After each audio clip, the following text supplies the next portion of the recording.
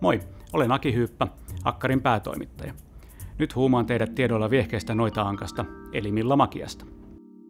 Milla Makia ilmantui ensimmäisen kerran Roopen Riesaksi Karl Barksin vuonna 1961 luomassa sarjassa The Midas Touch, eli Midaan kosketus, joka nähtiin Suomen Akuankka-lehdessä vasta 16 vuotta myöhemmin. Barks on kertonut luoneensa Millan Roopen vastustajoukon jatkoksi kultainto Piin ja Karhukoplan rinnalle. Hän ei kuitenkaan halunnut tehdä Millasta klassista rumaa noita akkaa, vaan viehkon velhottaren. Millan esikuvioiluit muun muassa italialaiset näyttelijättäret Gina Lollobrigida ja Sofia Loren sekä Adams Family-sarjakuvan Villa Morticia. Millan kotimökki sijaitsee Italiassa Vesuvius-tulivuoden kupeessa. Torpassa hän sekoittelee taikaliemien ja punoo uusia juonia Roopeankan ensilantin menoksi. Mökin takapihalla päivystyvät usein Roopen vakoojat, jotka raportoivat Millan liikkeessä suoraan rahasäiliökukkulalle. Millan tärkein päämäärä elämässä on siepata Roopeankan ensilantti. Hän uskoo sen sisältävän maagisia voimia ja tarvitsee sitä valmistaakseen voimakkaan amuletin, joka antaisi hänelle midaan kosketuksen, siis kyvyn muuttaa kaiken kullaksi.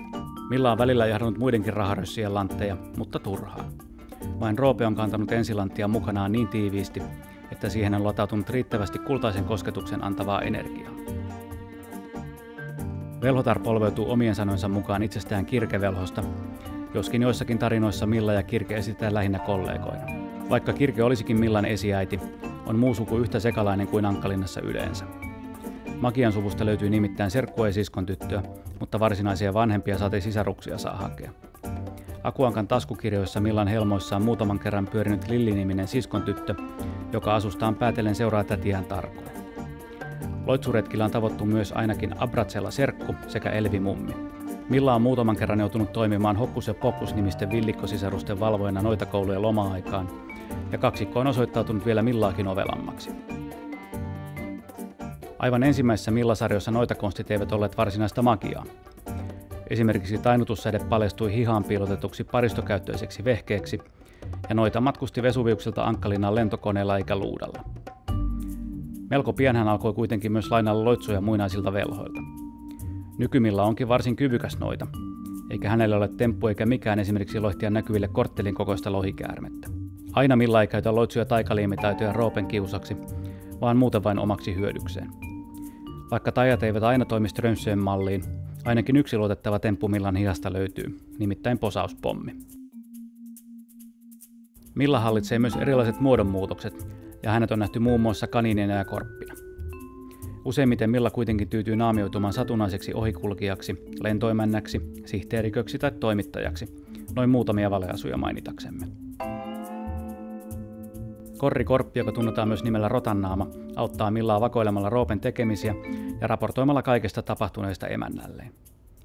Elovelhon apurina ei aina ole helppoa, sillä hommissa saattaa muuttua vallan toiseksi eläimeksi tai joutua vaikkapa Akuangan rooliin.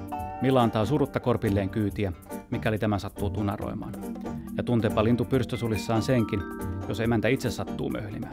Kahnauksista huolimatta velhotar ja korppi lienevät toisinsa varsin kiintyneitä. Millan tyylin kulmakivet ovat pikkumusta ja korkokengät. Lisäksi velhottaren käsivarrella keikkuu yleensä tilava laukku, josta tarpeen tullen saa kiskaistua esiin taikasauvan tai muita noita vehkeitä. Tyylikäs italiatar ei myöskään koskaan poistu kotoaan ilman vahvaa silmämeikkiä, ja meikkitrendien vaihtelusta huolimatta Milla on aina pitänyt kiinni vihreästä ja sinisen sävyisestä luomiväristä. Milla Magian tajat ovat ehkä purevia, mutta ajoittain hän on turvautunut apuvoimiin. Yhteisiä juonia noidan kanssa ovat punonneet ainakin karhukopla ja kultaintopii. Mutta kun kyseessä on joukko oman edun tavoittelijoita, voi tuloksen arvata ennalta. Milla on tehnyt tiimityötä myös muiden noitien, kuten esimerkiksi Matami Mimmin kanssa. Itse asiassa velhottaret ovat jopa joskus asuneet samassa linnassa. Mikä on sinun suosikki Milla-tarinasi? Kaikki Millasarjat löydät Akuankan lataamosta. Muista myös tilata Akkarin YouTube-kanava.